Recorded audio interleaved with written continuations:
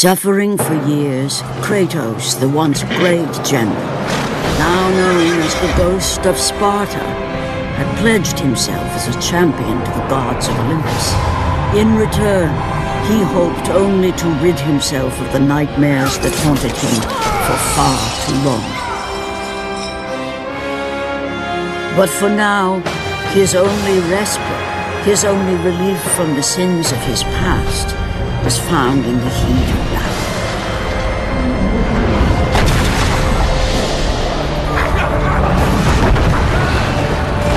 And on this day, Kratos had been called upon by the gods to confront an unthinkable evil, unleashed on the city of Attica by the invading Persian army.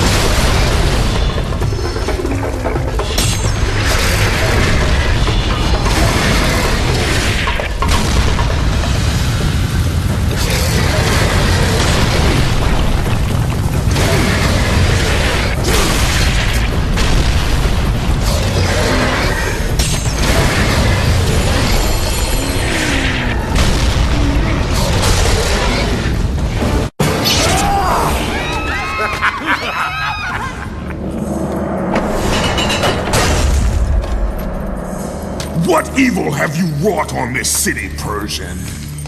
Evil? It is not evil that I bring, Spartan. I bring the might of Persia and the sacrament of purification. As we speak, my basilisk cleanses this land so that it may embrace the glory of the Persian Empire. Olympus has sent a message, and I am here to deliver it. then you are just a messenger. So take this message back to your little gods. It will take more than a pathetic Spartan to stop the power of the Empire.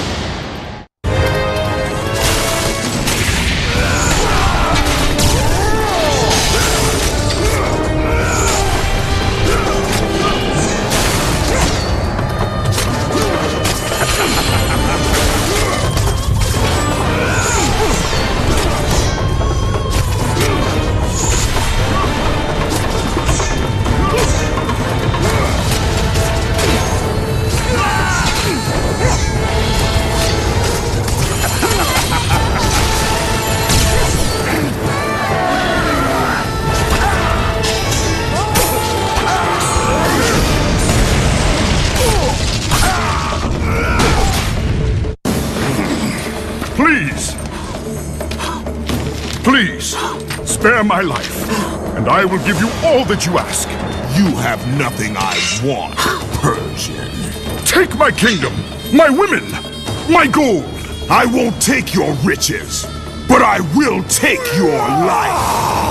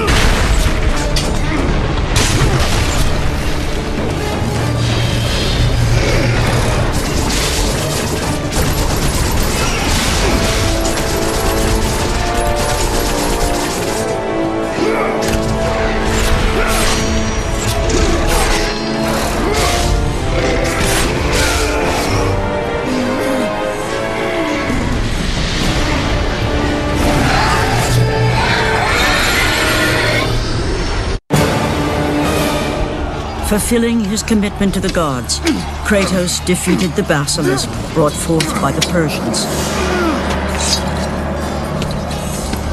But this small victory would not satisfy the man who had come to be known as the Ghost of Sparta.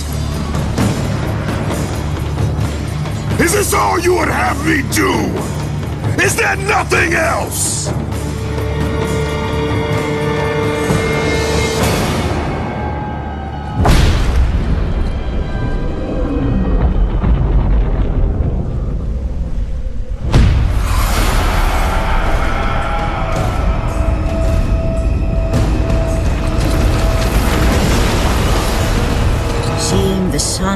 Plummet through the sky and the world plunge into darkness, Kratos knew this was not a sign from the gods. What treachery is this?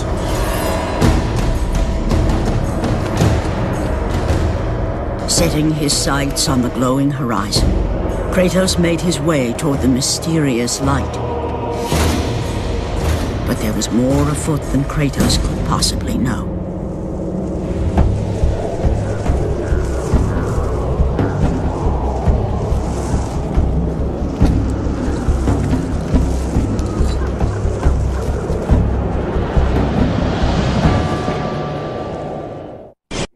In the darkness, Morpheus, the god of dreams, awakened to a world where he and only he wielded power.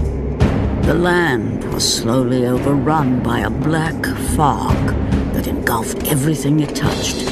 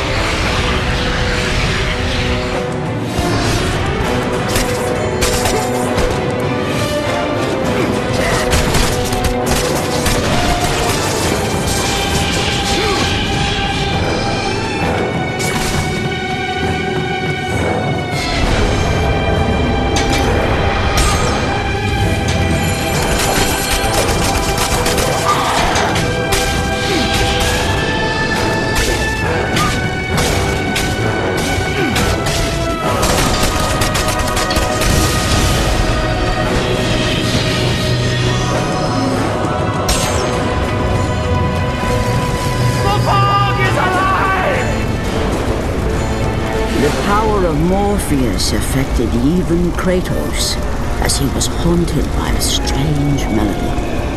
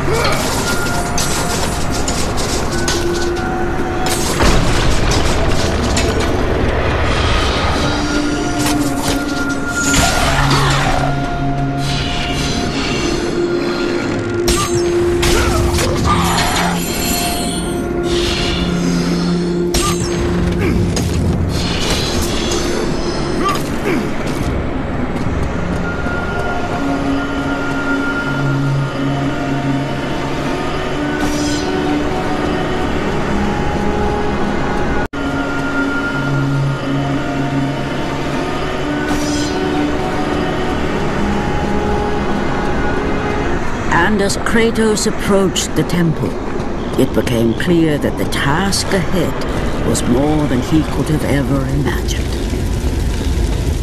Once again, the strange, lingering melody could be heard through the black fog of Morpheus, haunting Kratos.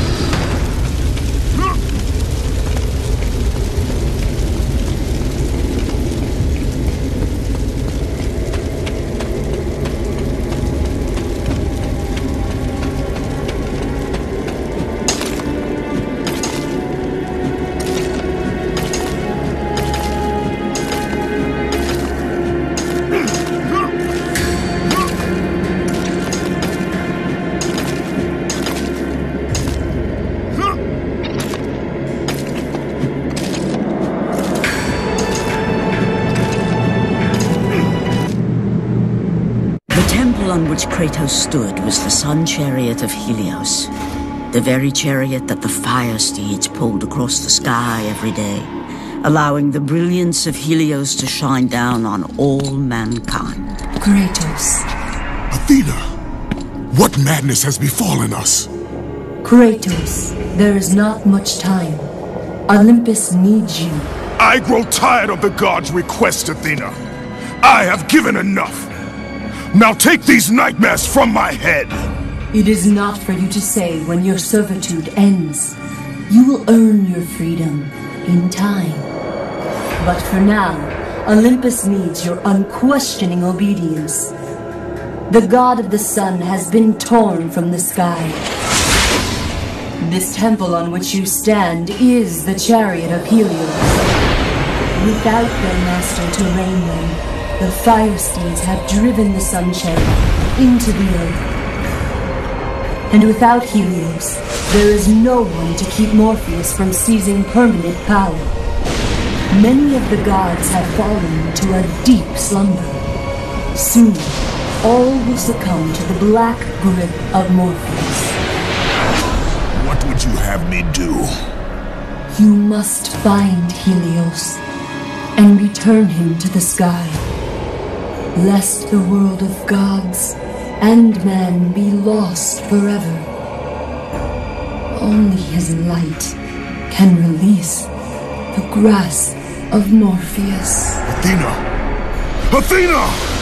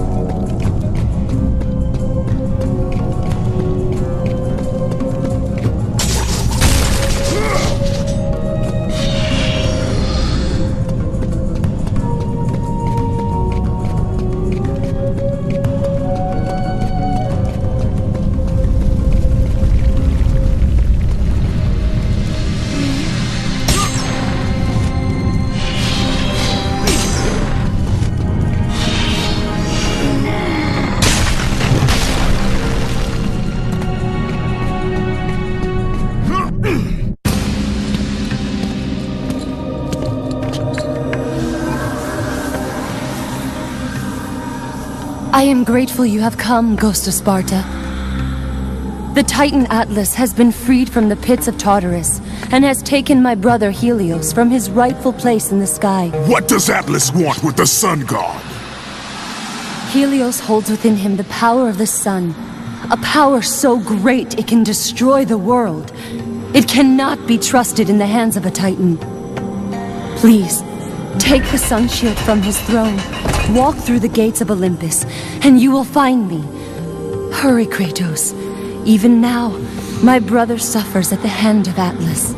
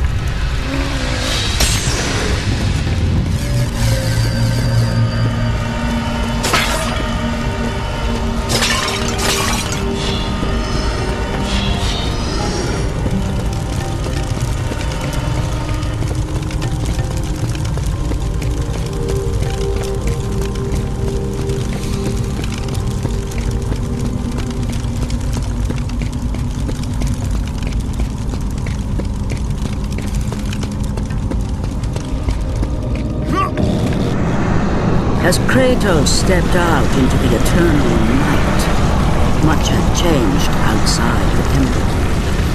Morpheus grew ever stronger as his harbingers of darkness continued their relentless march.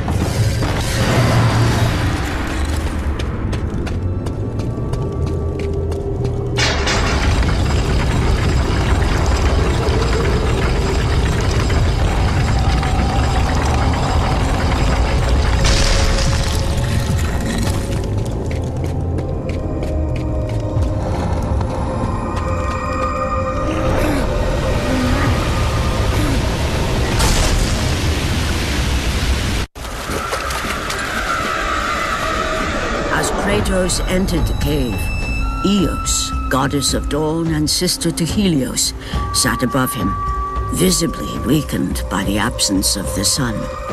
All glory be to Lord Zeus for granting you safe passage to me. The king of the gods does not aid me, Eos.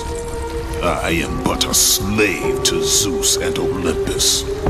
Save my brother Kratos, and he will convince Zeus to release you and rid you of the horrors of your past.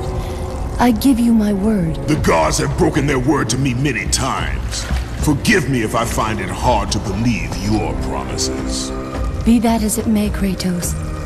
The primordial fire is almost out. Without Helios, the life-giving light of the world cannot be sustained.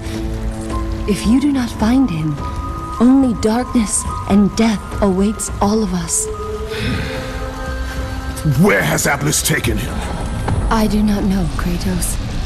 Follow the passage out of the cave. Retrieve the fire and it will light your path to the remaining steeds. They will guide you to their master. They will take you to my brother. May you go with the speed of Hermes, Ghost of Sparta.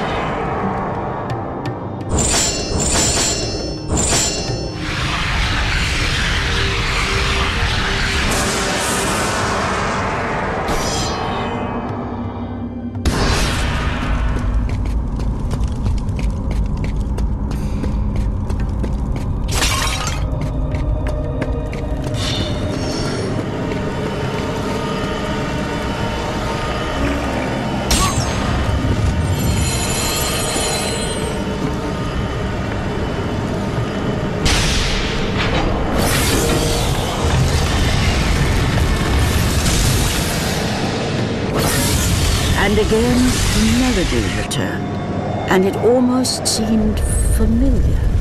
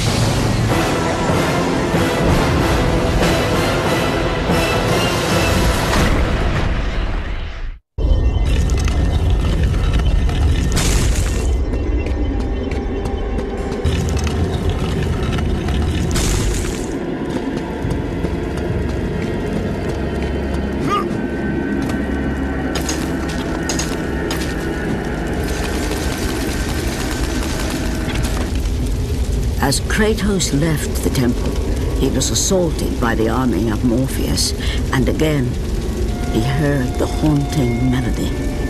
But this time, he recognized it as the song of his daughter, Calliope.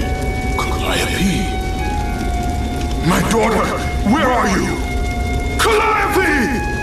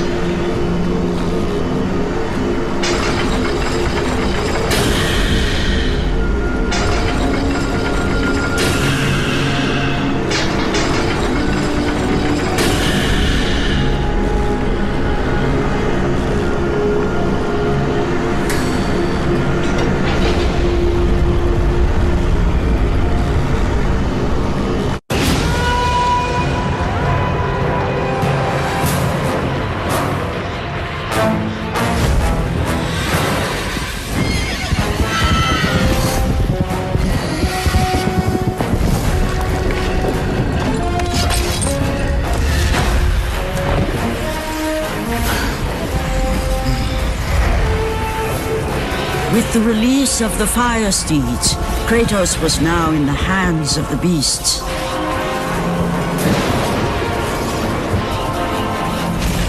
And where they would take him, he did not know.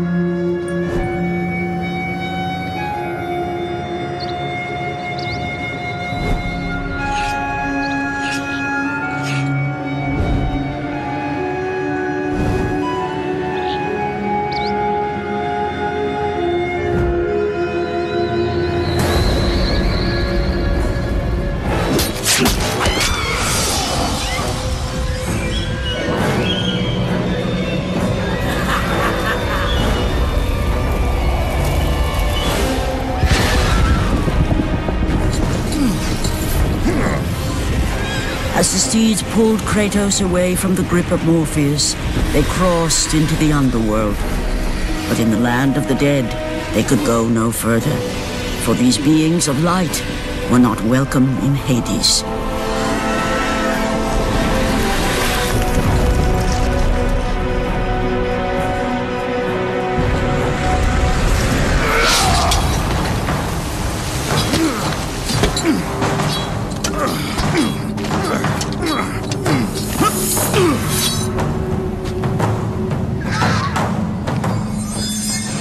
Kratos found himself on the very edge of Hades, the land where no mortal had set foot. Here, where the souls of the dead walk their fated path, Kratos knew that for him, this was merely the beginning.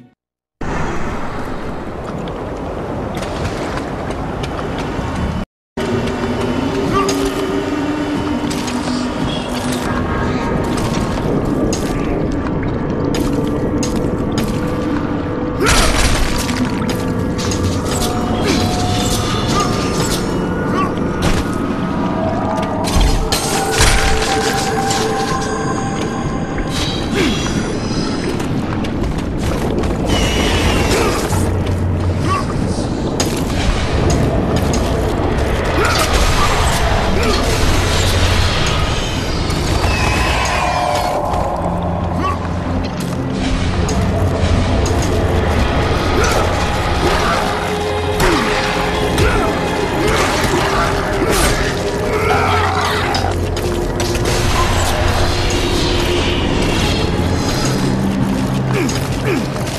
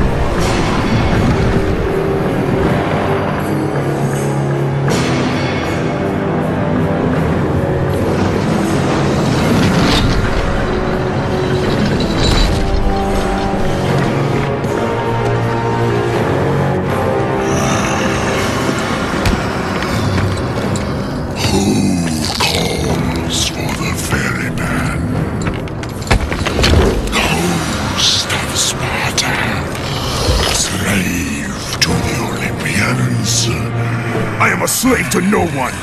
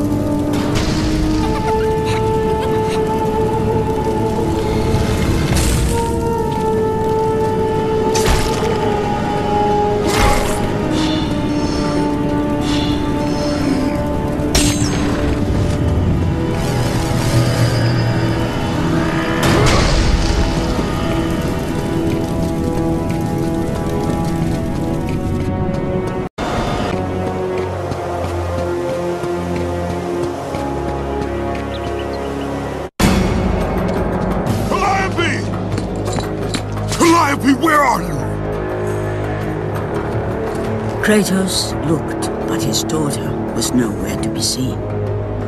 In the middle of the room sat a graceful figure, a figure he recognized all too well. Persephone, wife of Hades, and queen of the undead. Where is my daughter, witch? Choose your words carefully, Ghost of Sparta. You address the goddess of the underworld. Your daughter is well. She lives among the pure souls in the Elysian fields. Lead me to her. Have you forgotten, Kratos? The Olympians need you. They slumber at the hand of Morpheus. I have faithfully served the gods, yet they do not give me what I ask. I grow weary of their demands. The gods on Olympus failed me too, Kratos. I was betrayed by Zeus and tricked by my husband Hades. Now I am to stay in the underworld as queen of the dead, to serve the fallen and care for them as my own children. Persephone! I demand to see my daughter! As you wish. If Calliope is your true desire, I can help you. But be warned, Ghost of Sparta. The world of man will suffer because of your choice. I care little for the world and its suffering. Where is she? If you are to see your daughter again, you must become worthy of Elysium. Cast your weapons at the Forsaken Tree, and let it release the evils of your past. Only then will you be free of your sins, and be granted passage through the Divine Gates.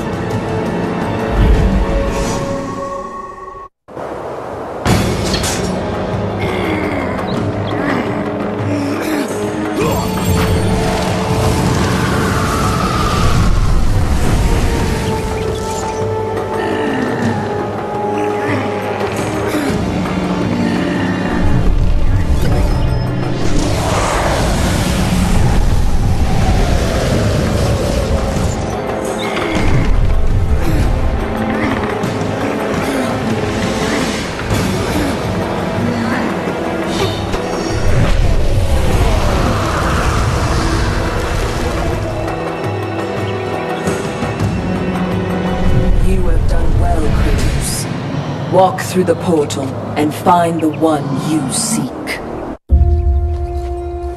Calliope! Father? My ah! child. Why did you go? I am here now, child. And I will not leave you again. I have watched over you pathetic mortals for a thousand years, and it is always the same. Serving yourself before the needs of others has always been your flaw. But no matter. For now you serve my purpose. It is time for all that came before to end. The Titan will fulfill his role and finish what I have started. I released Atlas. You? As you were pathetically disarming yourself, Atlas completed the task I set him out to do. With the power of the sun in his hands, it is only a matter of time before he destroys the pillar that holds the world. And Olympus with it. But why? Do you think it was my choice to wed a man I did not love? Live a life I did not choose? I was betrayed by the very gods that once saw me as their own, but no more. Once the pillar is destroyed, the world will revert into chaos. And what is to become of you? I will have my peace and be free from this miserable existence. I will perish, but it is my choice. Father? What's happening? I'm scared. In your selfish choice to be with your daughter, you have caused her ruin. No. Elysium falls to Kratos. She will perish. No! I will not let the gods take her from me again! Father! The choice was clear to him, yet impossible to make. To stay with his daughter meant the end of the world and the end of her. To stop Persephone and Atlas would mean forsaking his daughter forever. While his hatred and anger for the gods grew ever stronger, he knew there was but one thing to do.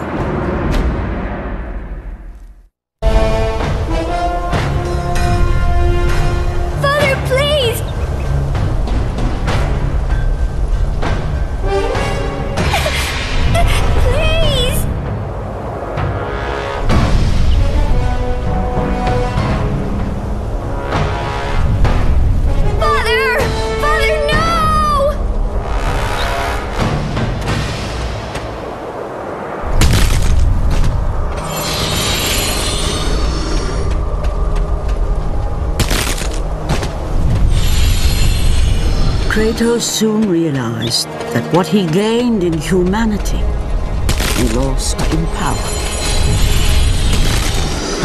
He would need to become the monster he once was if he was to defeat Persephone.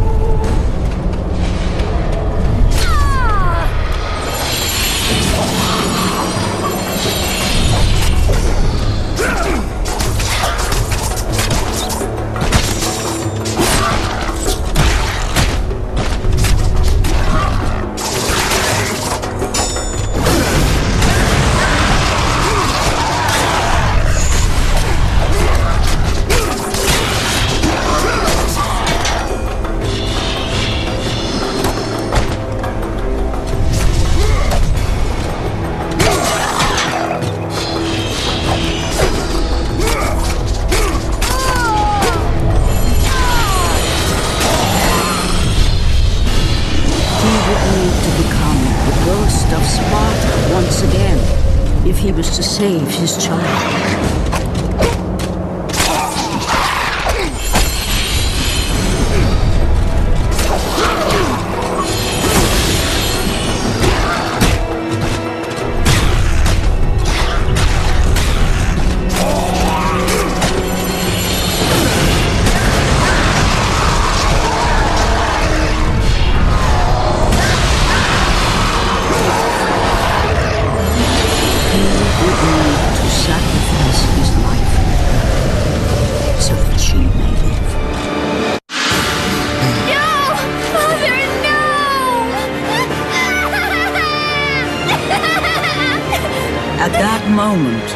Kratos knew his destiny was not with Calliope.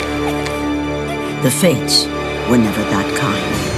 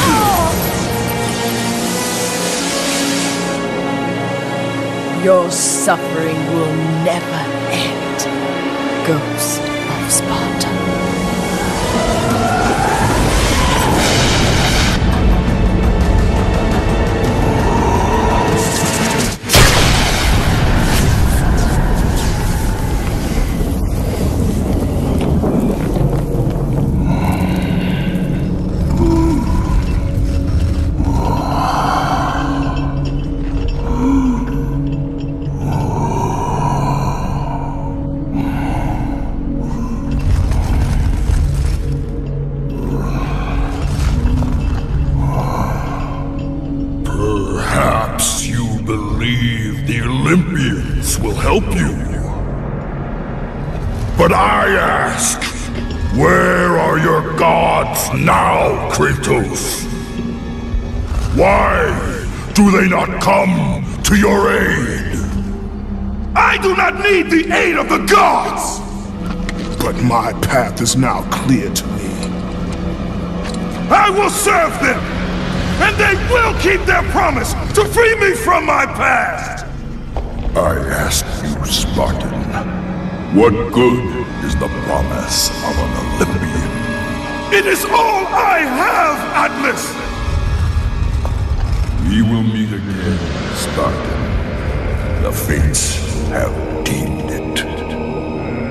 One day, you will regret what you have done here. The mighty Atlas was left in enchained, cursed to forever hold the world on his shoulders. Greater penance than even Zeus himself had placed on the Titans. The fate of Atlas had been sealed, and the goddess Persephone was no more.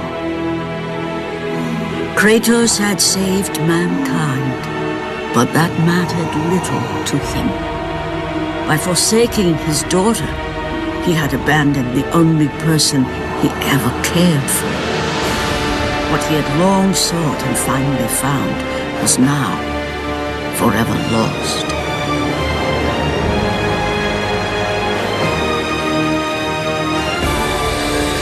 As the sun chariot rose higher in the sky, and the might of Helios shone once again on the world, Morpheus retreated to the shadows. Kratos gained little satisfaction from his victory. With years of servitude in front of him, he would need to confront his past and fight to reclaim the humanity he lost on the day his dark legend was born.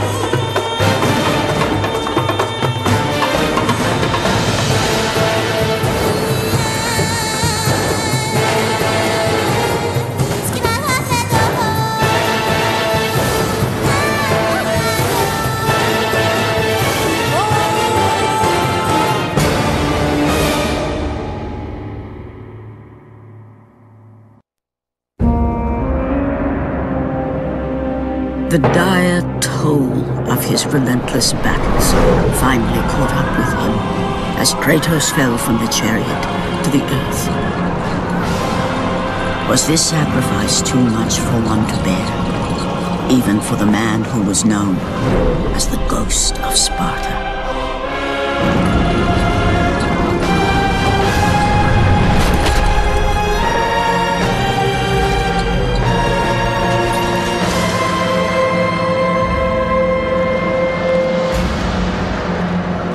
He has again served us well, Athena. He is a remarkable mortal. He is weak. Shall we help him? He'll live. They must.